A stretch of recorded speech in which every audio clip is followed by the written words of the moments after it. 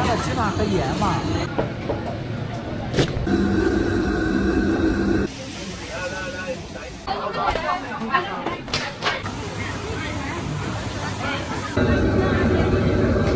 哇，这口味绝了！黔灵山这座门票只需五元的国家四 A 级景区，地处贵阳市中心，是所有贵阳人的精神家园，也是猴子们的快乐天堂。山脚下的农贸市场因黔灵山而得名，也因天天造访黔灵山的贵阳市民而变得愈发热闹。这就是黔灵巷菜市场。和威宁的一样的，我不骗你。那个品牌花坛吗？绝对。如果你拿真皮包花，只客厉害得很，两三回就要吃好。真皮包花真的啊？哎，真的不骗你，你可以告两句。啊？我不得嘛。冰糖的，真冰糖的，不红的，包的好吃哦。今天你随你喝了五块钱。我是个正摊。啊。摊主说的威宁梨是指威宁大黄梨，这种产自贵州省毕节市威宁县的黄梨，味道香甜，渣少汁多，在我国西南省份深受欢迎。我跟你讲实话，和威宁的一样的。那是两磅啊！我不得卖完，还有七八天。太少了。十五块。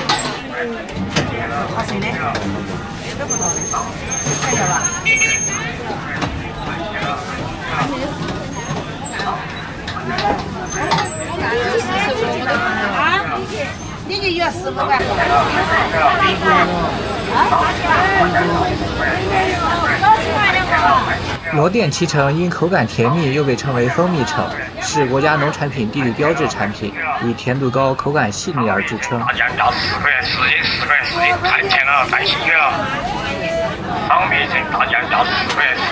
鱼腥草又名折耳根，云贵川地区认为它清热去火，把它当做佐餐的重要配料。第一次吃折耳根的人会觉得它味道奇怪，外省人往往无法忍受。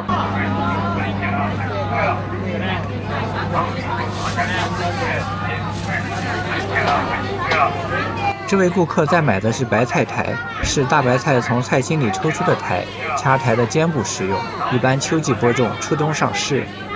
每天早上八点之前和下午四点之后，市场的路边都会有当地的农户来摆摊售卖自家的农产品。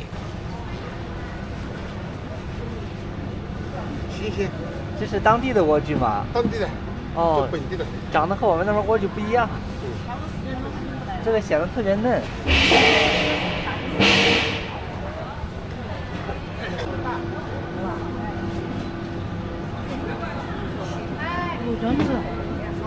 这种翠绿圆润的木姜子是贵州名菜酸汤鱼的灵魂配料，富含柠檬辛香且略带刺激口感的木姜子油在开锅前才会加入，酸汤爽口提神的同时，汤里若隐若现的木姜子辣味儿会时不时跳出来刺激一下味蕾，令食客欲罢不能，大呼过瘾。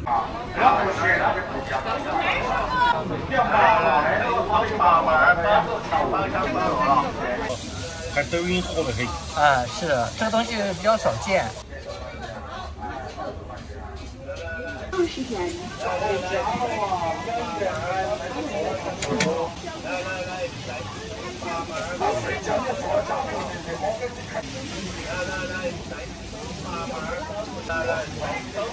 来来来，八瓣放三斤，还有吃的呢，也不很辣，这是辣椒拌皮蛋。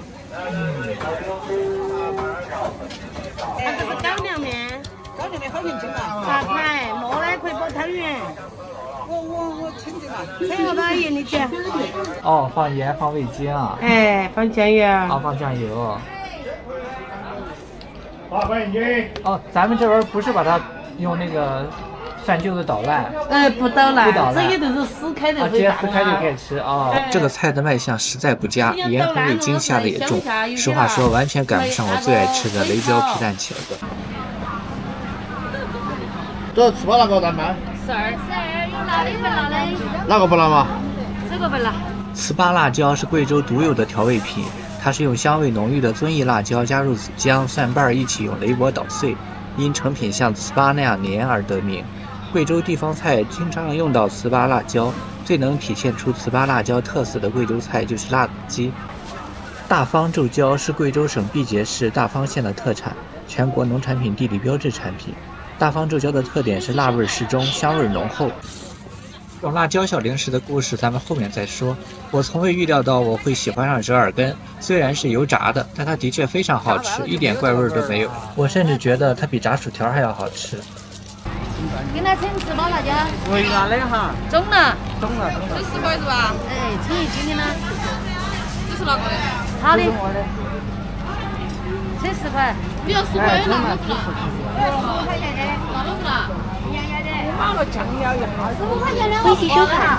在贵阳边走边吃，本身就是一场满足好奇心的旅行。这里不仅有陌生的口味，更有陌生的食材，比如这种小米炸，还有很多贵阳独有的食物，都让初尝滋味的我感到新奇。小米炸是贵州独有的特色美食，用当地产的糯小米加上猪油、红糖和带皮五花肉蒸制而成，吃起来软糯香甜，甜度刚刚好。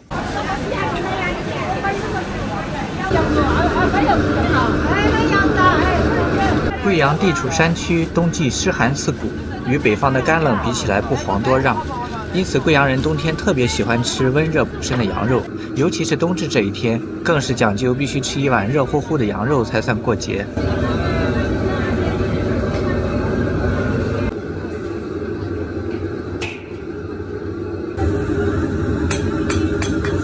与北方的习惯不同，这家店做羊肉会下很多味调料。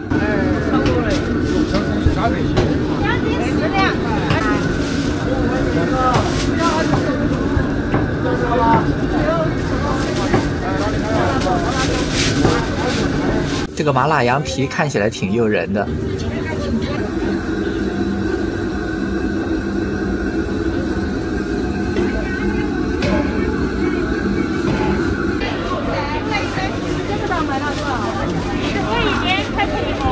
老板现在包的是引子粑，引子学名荨麻，形状有点像黑色的藜麦。贵州人喜欢引子独有的香味儿，喜欢用引子加糖作为糍粑的馅料，这也是贵州独有的吃法。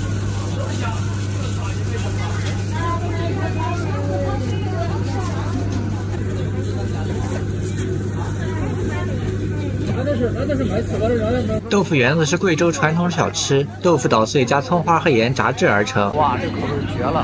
在酥里嫩，一口爆浆的感觉。它是咸口的，里边应该是放了花椒和葱花，虽然是油炸的，不会感觉腻。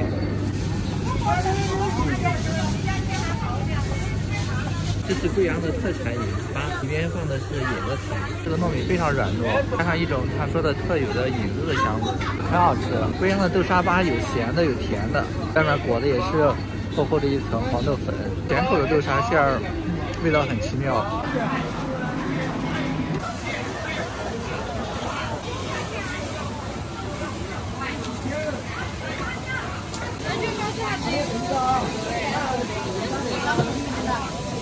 我这东西就要做好的，不好的我就不做。我们这个豆沙是每天现做。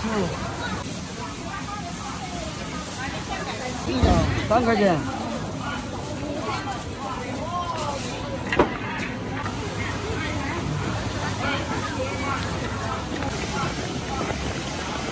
那个外头人家少。哎呀，我可以啊。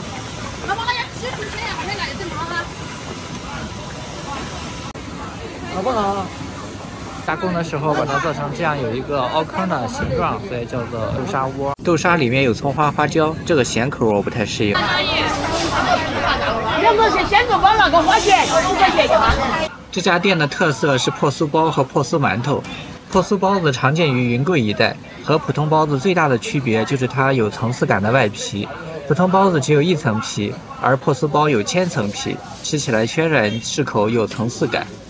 破酥包之所以能破酥，一是它选用了更容易起发的低筋粉，二是加入了雪白的精炼猪油，帮助分层起酥。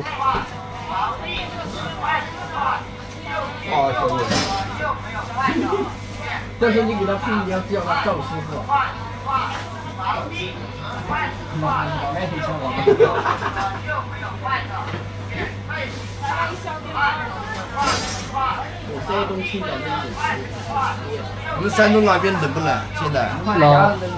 今天现在是全国降温了。全国降温？对对对，全国都降温。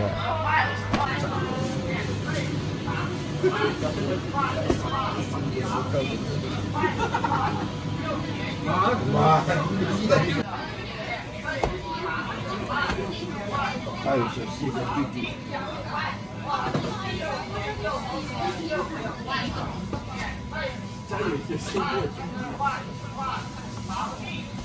你们那边有做有做这个了没有？没有。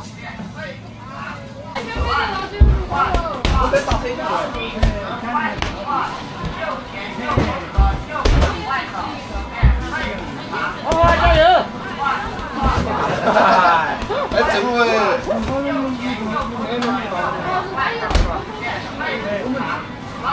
四百块这么高中，高中。你记住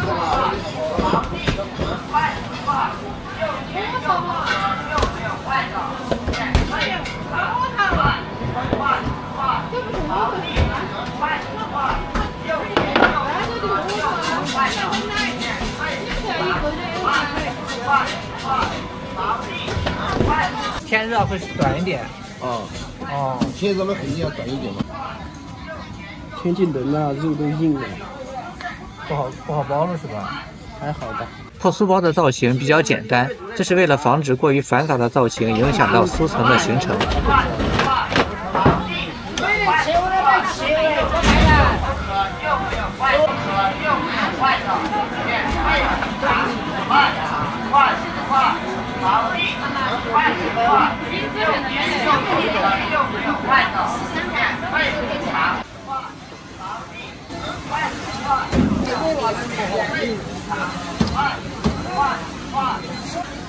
蒸好的破酥包收口处微微敞开，香气四溢。咸口的破酥包是猪肉葱花馅儿，甜口的是引子馅儿的。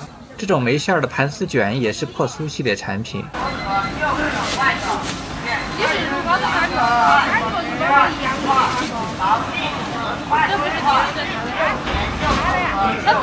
影子馅的葡酥包有浓郁的油香味儿，对我来说有点太甜了。可以看到这些包子的外皮分层还是很明显的。咸口的包子好评，油香味浓，肉馅的味道很合我口味儿。不怎么吃零食，但还是要隆重介绍一下这种好吃的小零食——香辣脆。强烈推荐这种细长形状的，它口味更好，香味更纯粹。这种粗一些的甜料比较多，盖住了辣椒本源的香气，我个人不太喜欢。裹了薄薄一层面糊的干辣椒，等着进油锅变成香辣脆。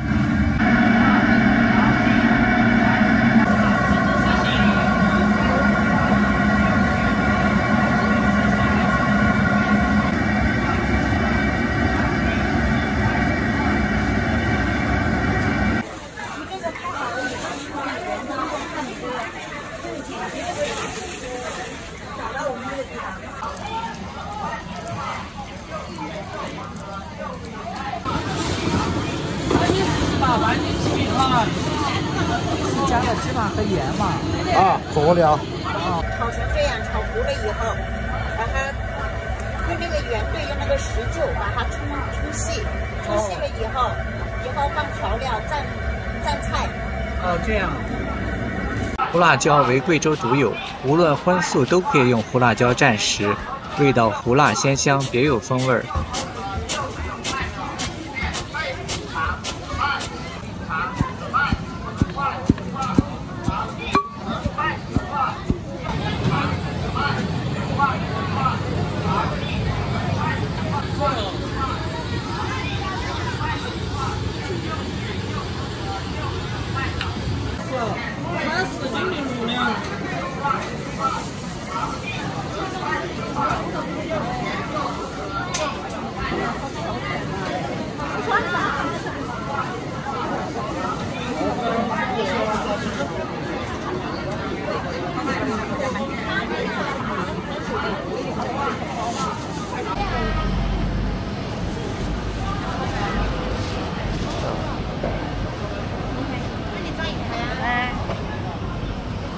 照一下啊，对，照一下。我们特色这个是酸的，酸豆角、酸萝卜、酸辣椒，蒜还是生的。昨天我吃一点那个酸萝卜，太酸了。这个不酸的，我的这个不酸，你尝一下啊，是吧？我的这个不酸。我不要，我是建议。这十块。十块钱斤。嗯，了解。要不然就是一些，就是我的这个不酸，五块。木姜子、木姜油、榨木姜油的那个。哦哦哦。放在辣椒水里面，木姜花还有。啊，这个可以直接吃啊。可以啊，做在水豆豉里面，做到辣椒水里面，要把它拍细。老板叫做大头菜的咸菜咸淡适中，微微的酸味很开胃，是吃破酥包的最佳伴侣。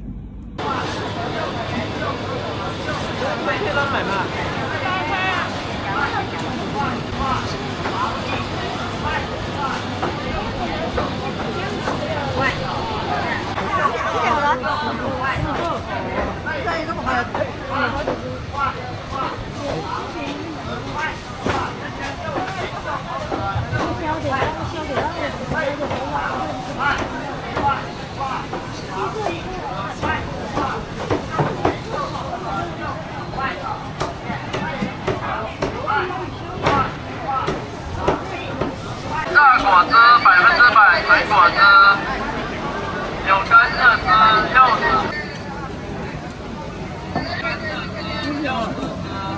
翠，哨，贵州美食王冠上的宝石，最能代表贵州味儿的点睛细节。在很多贵州美食里，翠哨都只是配角，但如果没有了它，再好的剧组也无法开机。简单来说，翠哨就是猪油炸猪肉，肉块放进猪油里且炸且炼，用酱油提香，碘酒酿上色。油吸出的太多就舀一些出来，锅里温度太高就把冷却下来的猪油再添回锅里降温，如此这般。直到肥肉脱去丰腴，瘦肉吸饱油脂，就大功告成了。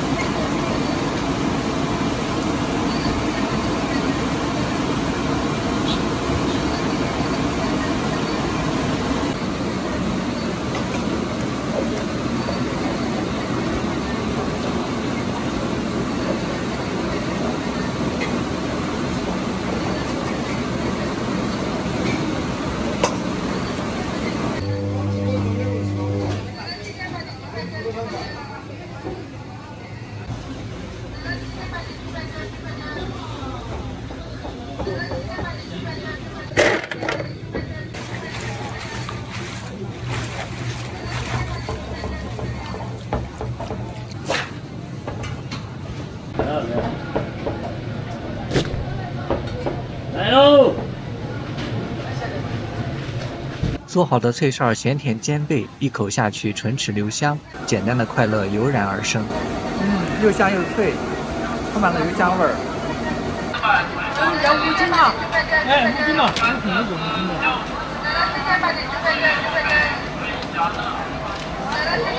来来来，酸辣椒五块两斤，小黄瓜五块两斤，五块两斤，先加了，先加了。来来来，酸辣椒五块两斤，小黄瓜五块两斤，我是五三块两斤，两先加了，先。给我帮我切成两辣，椒五块两斤，小黄瓜五块两斤。但是吃的。大这个，这个小，这个小，这个嫩的。太小了呗，啊，太小。这个嫩的。哎，等一下。哎。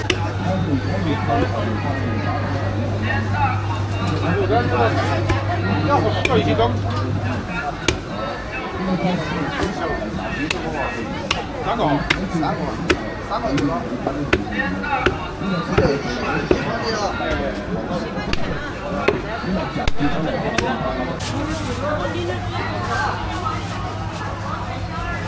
价格那是多少日系的，别问。十块。贵州境内只有贵阳人喜欢吃酸粉，这种米粉比米线要粗，味道微酸，三块钱一斤。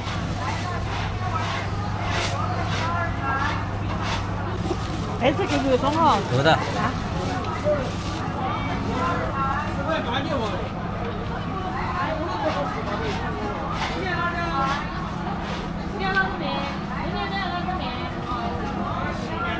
我也去过不少市场了，把挂面摆得这么有艺术感的还是第一次见到。这家的挂面三块五起，最贵的挂面六元一斤。三块五。三块五，那十斤嘛。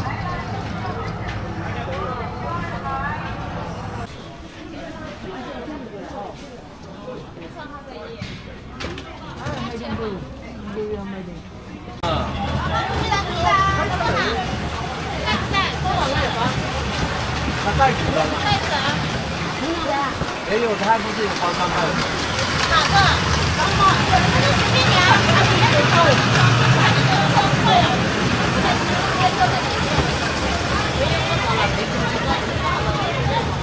给你水，给你倒水不要扔了。赶紧上好了。哎，不管有没有关系。啊，差不多。多少钱？十五斤那个。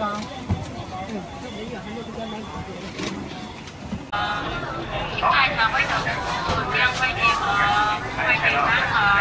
青爱茶煨豆腐两块钱个，五块钱三个。青爱茶煨豆腐两块钱个，五块钱三个。贵州人喜欢吃豆腐，豆腐的种类也特别多。荞灰豆腐是把做好的豆腐用荞麦秸秆烧成的灰包裹后二次发酵，这样做成的荞灰豆腐口感细腻，而且带有独特的风味。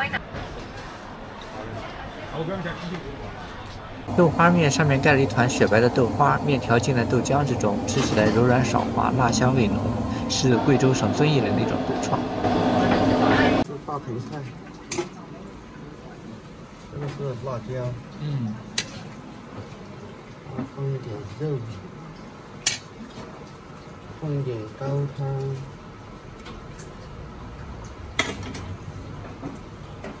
撒一层红油，嗯，放一点小葱，像这样就搞定了。一碟好的蘸水是豆花面从平平无奇变得香辣开胃的关键。嫩滑的豆花跟咸香油辣的蘸水一起吃，居然非常美味。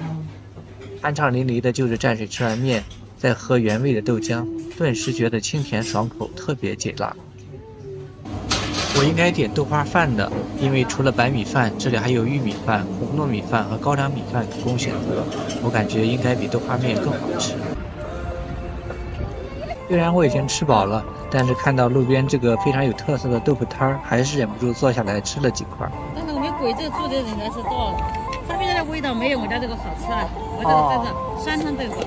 酸汤豆腐，对，这个中间放这些都已经是烤好了的了。嗯，这个烤好了就可以随便吃，直接就可以吃了。可以。这些是还没烤的。嗯，这些是生的。哦，生的。这个蘸料里边有什么？料呀，味精啊，其他就没有了。每天在这儿吗？哎，我在这里卖了二十多年了。一股浓浓的豆腐香味儿。对。是没用这个，就是疫情过后就会遇到这种无奈，我现在用这个了，哦。原来没用。坐在颤悠悠的扁担摊旁边吃着烤豆腐，真的是一种非常非常贵州的体验。